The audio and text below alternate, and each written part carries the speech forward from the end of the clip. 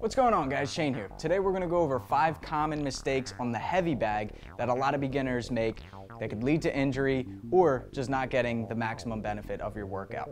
So the first one is not wrapping your hands. I see this all too often where people strike the heavy bag bare-fisted or they don't wear hand wraps, they just wear gloves, and then they ask me questions on why their hands are calloused, why their knuckles are cracked and bleeding, or why their wrist hurts. Make sure you wrap your hands, make sure you wear gloves when you're hitting the heavy bag. If you're looking for knuckle conditioning, we have a video on that. Next one is focusing just on power punches.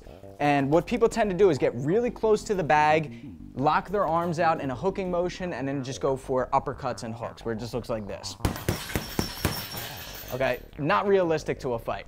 If that's what you're training for for competition, then get full extension in your punches. Also, you're gonna develop more muscles. That's mostly just hips and shoulders, but now I'm working, you know, my full arm, I'm working on my footwork, I'm working my core, jabs, crosses. Sometimes I don't even hit the bag. Sometimes I'll go out here, really work on my footwork, then I'll step in and land punches on the bag.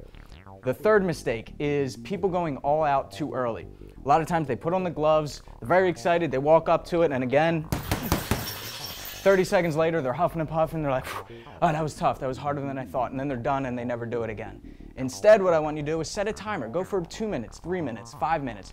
But pace yourself, right? Walk around the bag. Sometimes you just keep your hands up and you're just pumping a jab, right? Nice and easy. And then maybe the last 30 seconds or midway in between the round, then you can throw that hard flurry. But either way, pace yourself, make it realistic. The fourth one is when you're throwing your strikes, throwing it with bad form. This starts to happen towards the end of the round or later rounds. Hitting with the incorrect part of your hand, forgetting to keep your wrist straight and tweaking your wrist either direction. Same thing with kicks and knees. When you throw your knees, you wanna make sure that your heel is all the way to your butt, solidifying the kneecap. You wanna make sure you're striking with your shin on the heavy bag, especially if it's a firm one and not the top of your foot. You could tweak your ankle, you could hurt your foot itself. So no matter what strike you're throwing, make sure you keep proper form at all times. And the last one on the heavy bag is don't just get concerned with throwing punches. Mix it up. A lot of times, like I said, it's just people are just going one, two, left, right, left, right, nonstop. That'll get the heart rate up, get you sweating. But think about it, like I said before, much more full body. If I can move around the bag, I can work my jabs, I can work my kicks, I can work my defense as well.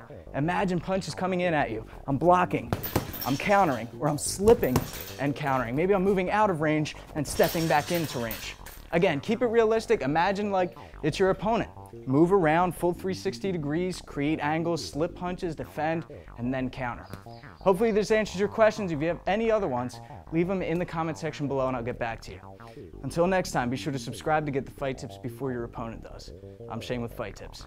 Self-defense for the underdogs.